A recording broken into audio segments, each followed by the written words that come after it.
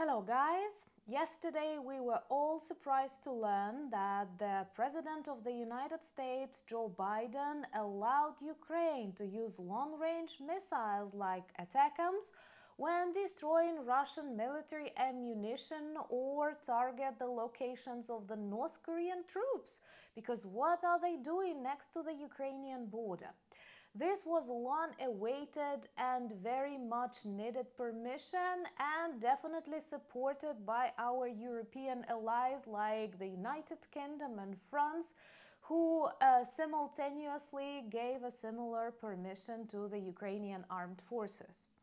And you might have noticed we haven't used this permission yet, but panic is all over Russia, starting from various comments typical Russian terror and psychological blackmail technologies, and finishing with the serious troubles on the Russian stock market, which reacted to the news on the permission to strike deeper inside the Russian Federation.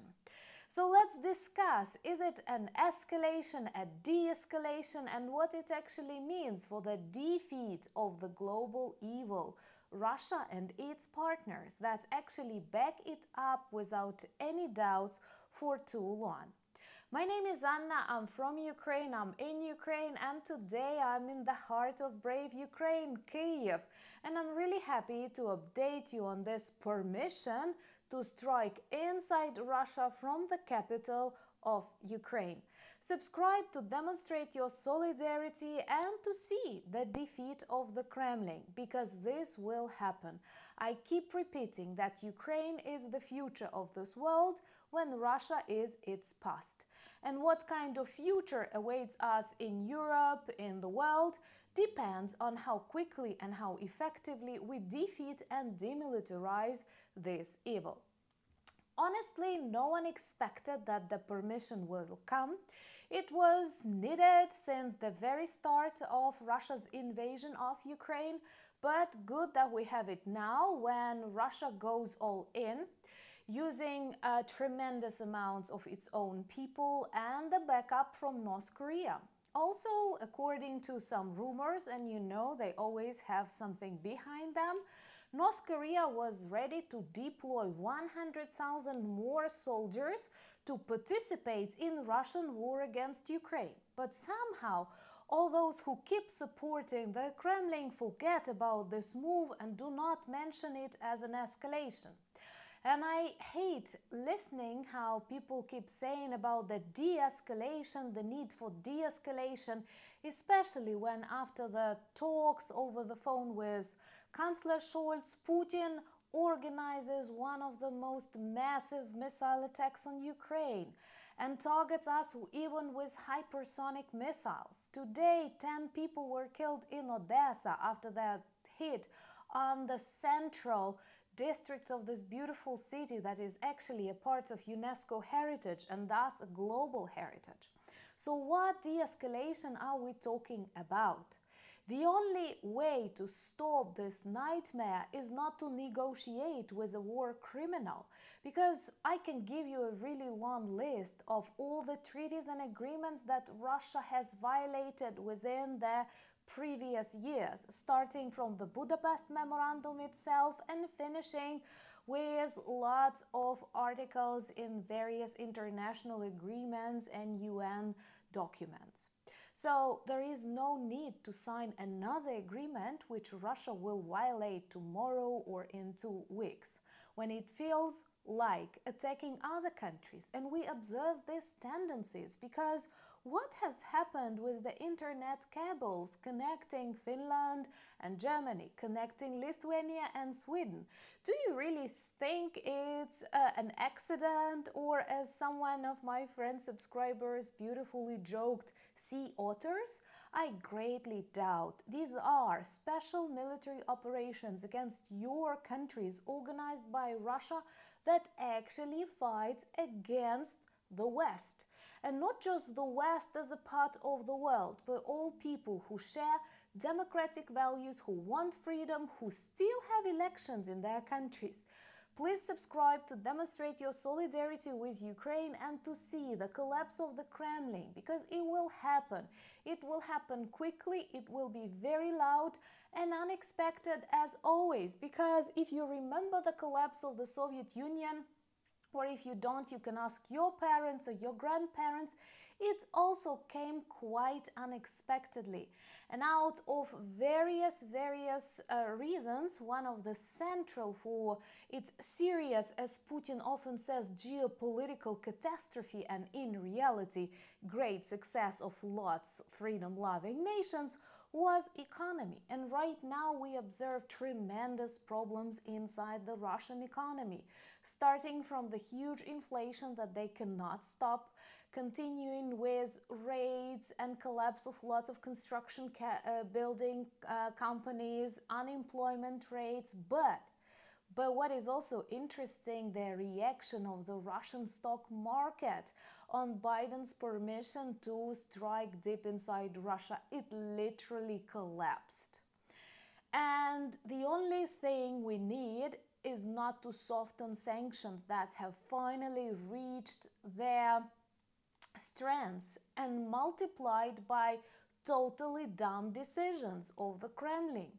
Because they keep pretending, they keep faking numbers, believing it will work somehow out.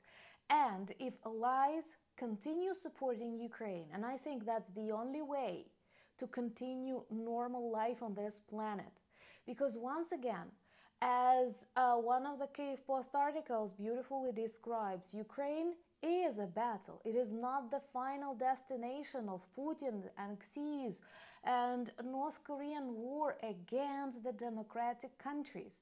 And oh my God, with all our strengths, with all our confidence, we are in danger.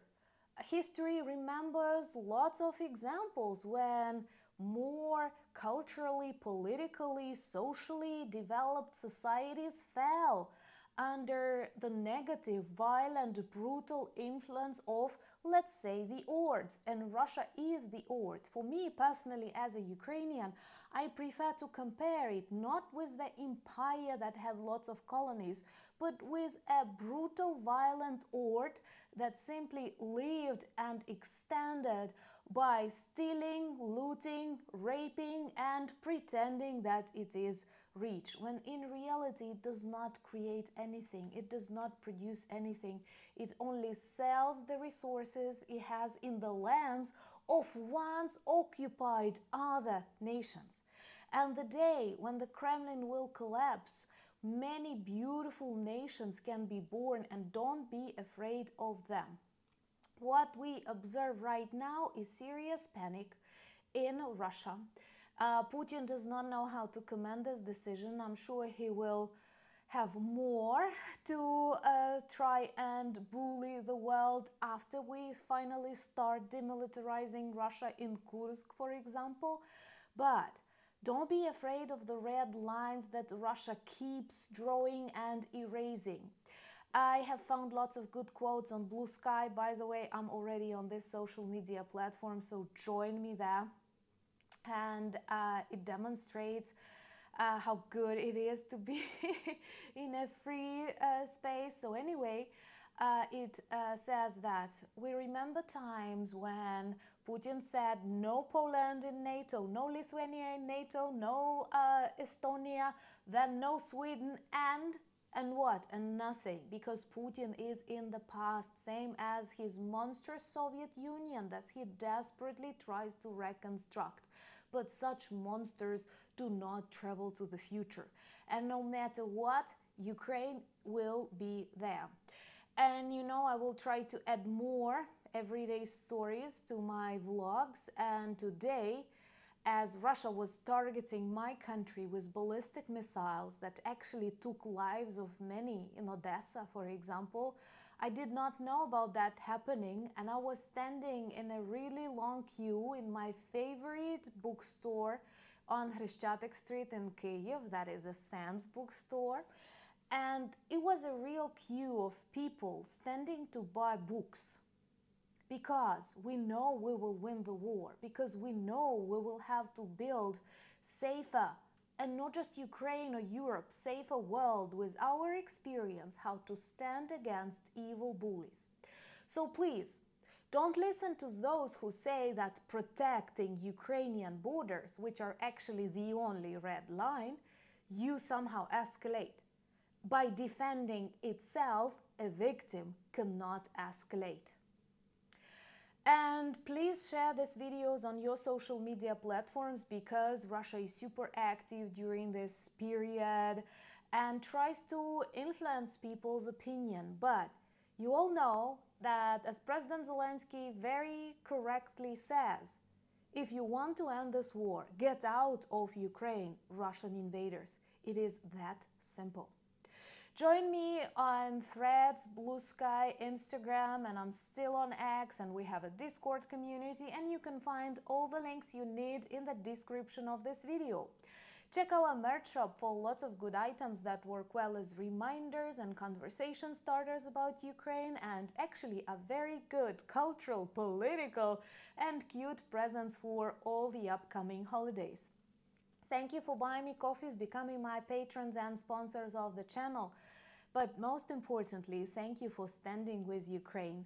Warmest greetings from the heart of my brave country, Kyiv, that I love so much, and I dream sometime soon you will be able to come, experience, watch, listen, taste, and feel, because it is indeed a very strong and beautiful city. Slava Ukraini!